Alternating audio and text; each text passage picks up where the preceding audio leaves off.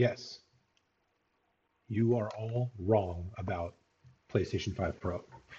The, the media storm on the consumer side of all of us, you know, talking heads and gamers uh, around the PS5 Pro has been extremely interesting to me because, um, for the most part, gamers tend to be unified in their response to a certain situation.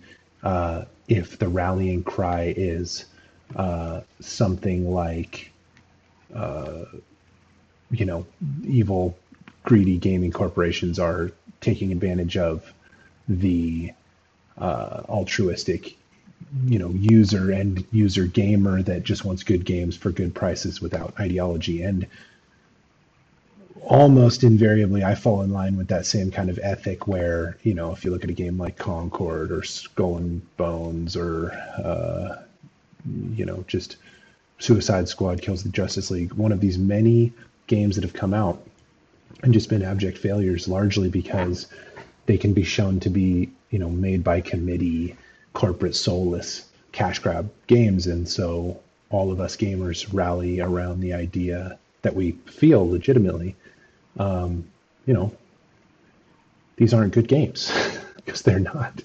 Uh, and and the um, and by rally I just mean share our opinions openly. Um, to whatever degree they resonate is is something out of the control of the individual, I suppose.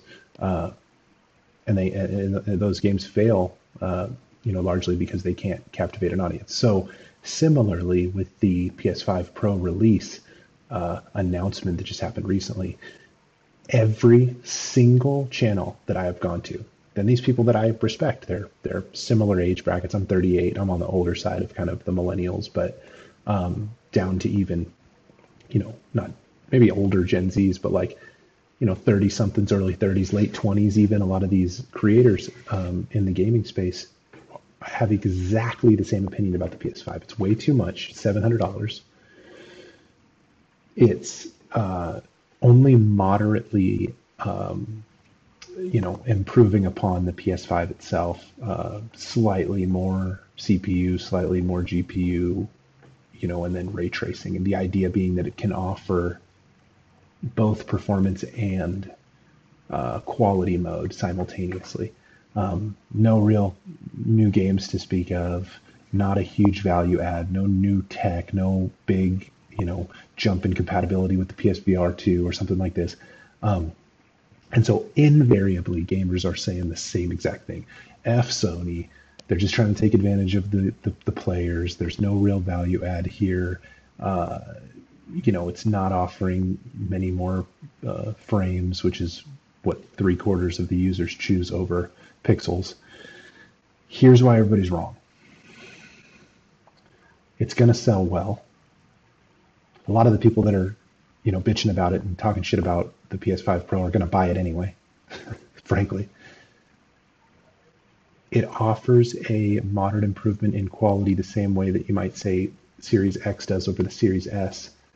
The Series S is like, I don't know what the relative sales numbers are, but the X is the better system in my opinion. I have the X. A lot of the game development for the X has been hamstrung by the existence of the S. So lots of people are going to buy it that saying they're there aren't they aren't because they're falling in line with the fuck Sony narrative. $700 is a lot of money. Here's why that falls on its face. Our purchasing power is so much weaker now than it used to be. If you look at the prices of systems adjusted for inflation, uh, I bet you $700 for a new system is not even on the high end. I bet it would be middle of the road. Now, do I wish it was cheaper? Obviously, yes. I don't even have a PS5, so I'm actually considering getting a PS5 Pro. Uh, so for me, it's really a $200 delta you know, that I have to consider versus just getting a PS5. Now, there's a couple other critiques. There's no disk drive. I'll tell you, I would love to say that I uh, have a ton of physical media that uh, I'm not going to let the evil corporations take away my ability to own my game forever. You know, I, I'd love to say that. I have even tried to start accumulating more physical media. I literally have, I think, four physical Xbox discs. Uh, I have like the skiing one, uh, Ace Combat 6, I think it is. and I just bought Dragon's Dogma 2. I even got the Steelbook because I'm going to make this a thing. I'm going to start getting physical copies. It's so much easier to digitally download a copy. I have to go to the local GameStop, see if they have the friggin' disc, and I get it. I have GameStop stock. I love having a local game store. If only in, in, in concept. I've gone to GameStop my whole life. It's just not the same. They don't have the demos, you know, up the way they used to when I was a kid. We'd go in there and play games, you know. Um, everything's going digital. Like I get that the ethic of being able to control our physical media is a powerful one and one that, you know, is something to believe in. But I mean, you know, everything's in the cloud. We're moving to a digital future whether we want to or not. Um, so yeah, I don't think that the lack of a disk drive in the PS5 is a big deal. Now, part of that is because I have an Xbox Series X, not not S, and so I do have something to play my you know games on and Blu-rays on. If I didn't, I would I would feel differently. But I think a lot of people already have an ability to play discs, just because I think you check that box if you're a gamer, whether you have a PC that can play them, or you already have a PS5, or you have an Xbox Series X, right? You don't need more than one disc drive, really. Um, you know, I don't even have a disk drive on the computer that I'm making this on. I have a mini um, what the hell is it called? A, a I want to say MacBook, but it's not. A, a M2 Mac Mini Pro, M2 Pro Mac Mini. Um, it's great. The value proposition of it was great. I could make videos. I can play some kind of little games. I've, I've played uh, Divinity Original Sin. I haven't beat it yet though. Played Baldur's Gate 3 first, and then got, got Divinity Original Sin. Um, you know, I do all my web browsing, do my work, you know, my emails and stuff, and I'm trying to you know, upload more videos. And I do that all on this uh, Mac Mini, no disk drive, you know. So I think the critiques about the PS5 are unfounded, and I think that they will be, um, you know, I think that my thesis here will be vindicated when the sales start happening. Do I think it'll be the best selling console of all time? Probably not. You know, like probably not. Like uh, Asmongold always says, PS2 best console of all time. I had a PS2. I loved having the PS2 it was a huge cultural thing. It was the first thing to have like a DVD player, if, if memory serves. Uh, you know, and you could play all these kick, ass games, and the, the the library was crazy. But the N64, I think, was the biggest cultural change uh, in a system, uh, and that could be nostalgia because I got that when I was a kid for Christmas, and it was just super epic. But my first system was the Genesis.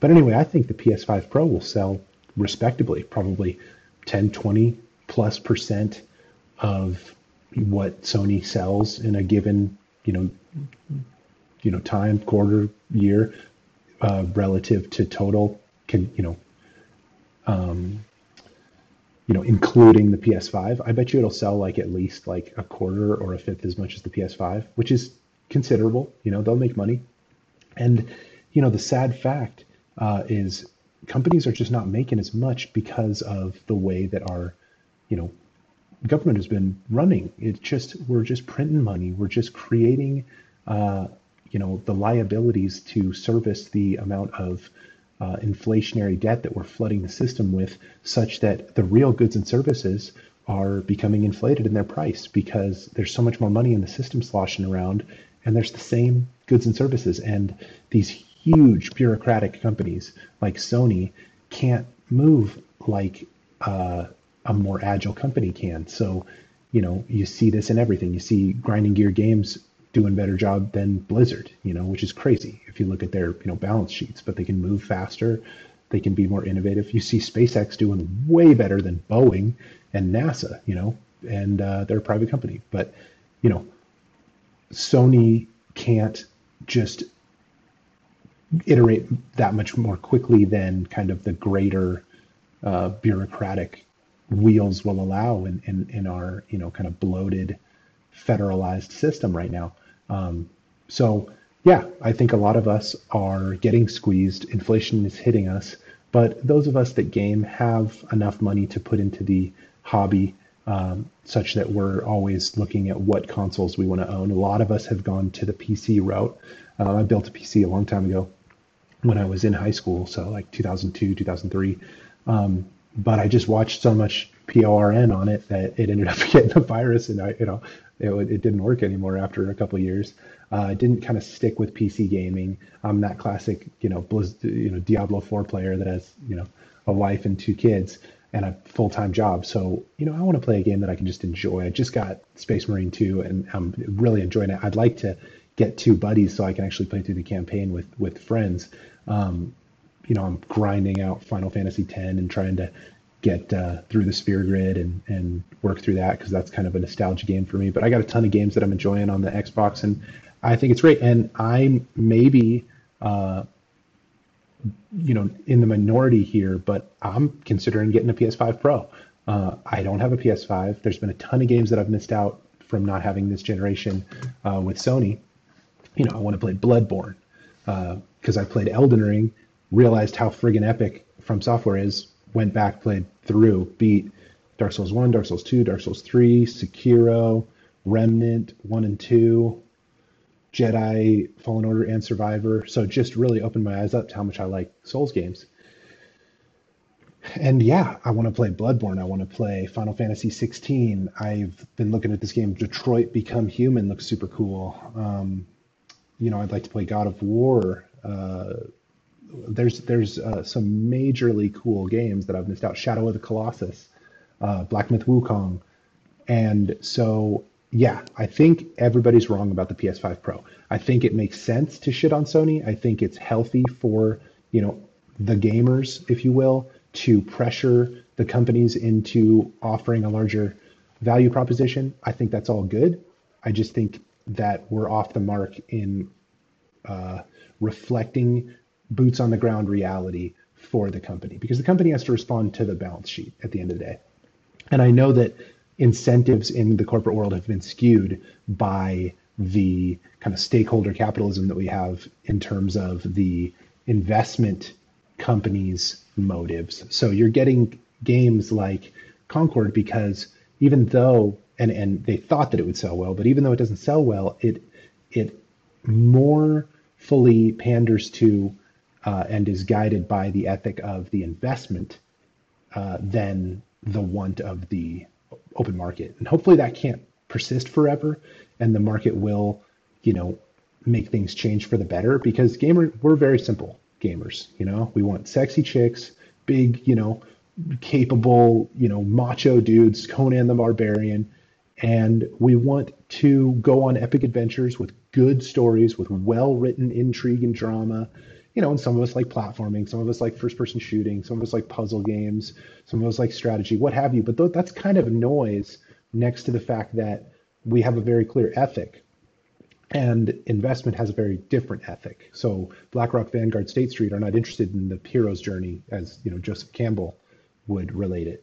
They're interested in being seen as the kind of new world order progressive political elite, you know, uh, pushing society forward to the kind of you know unicornia utopia uh, of you know the perfected human. It's all nonsense, but that's what these people believe. They they want to have their kind of holier than thou social views uh, pushed through popular culture and and by extension gaming, and you know it falls on its face every single time. We've seen it again and again, but uh, it, it, it somehow still holds sway for big companies uh, because you know that's who you know butters their bread on the on the on the you know front end. But on the back end if they can't sell the product you know they just got to start taking tax write-offs and stuff which they did with willow which they did with concord. You know they had to shit can the acolyte. Like this is not uh you know mystery right? So yeah i think ps5 pro is going to sell. I'm considering getting one. Uh, it may not be a big step up, but you know, it seems like consumer electronics are plateauing right now because what where are we going to go from here? Um, you know, Murphy's law and you know microprocessors can only get so much better. I mean, what do I know? But it just seems like you know VR and uh, how would you say immersion are some of the few places that can still take giant leaps. But in terms of frame rate, resolution, quality of games, these are things that are no longer just um, uh, reliably improving linearly each year. uh, in a lot of cases, we're going backwards. So um, I appreciate a company trying to iterate on their flagship product. I don't begrudge them for trying to make money on it. They can't give it away for free unless they're trying to make you the product. You know, Game Pass is hard to stay away from. I, I downloaded Decor from Ultimate and I lose access to a lot of games, but I'm trying to get that like I want to have physical games ethic like we were talking about earlier. And the best I can do is just have my games be owned as opposed to rented the way that Game Pass is. But do you see the value of that is so great? Uh, it's hard to pass up, you know? So I think that we can kick and scream against uh, companies do doing what they're going to do if it is possible as much as we if it is profitable as much as we want. But to the degree to which the free market speaks, I think we're all just kidding ourselves by going against it the same way that Disney's kick, kicking itself by going against it by continuing to release, you know, Kathleen Kennedy signed off on crap. So who knows? I could totally be wrong. Maybe the PS5 Pro sells nothing, but I bet you it sells really well and shows that as much as we're pissed off by the way that we are, you know, seemingly being taken advantage of by companies like Sony, products like Concord fail for a reason, and I don't think Sony PlayStation 5 Pro will fail. I think it will do just fine, and it'll be a way for people like myself who don't have a PlayStation to get into the ecosystem and feel like, all right, we're we're we're doing you know good. We're enjoying the games that we missed out on even a little bit better than we might have otherwise, and the enthusiasts will get it, and it may even kind of revivify the secondary market for the PS5 because of course if the people that have a PS5 upgrade to the PS5 Pro they're going to sell their PS5.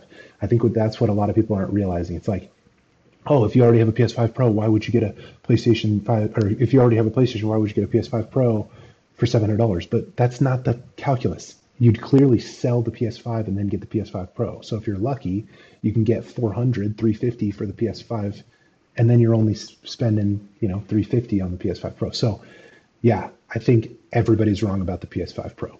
Thanks for watching. Appreciate you guys. Love you. See you next time.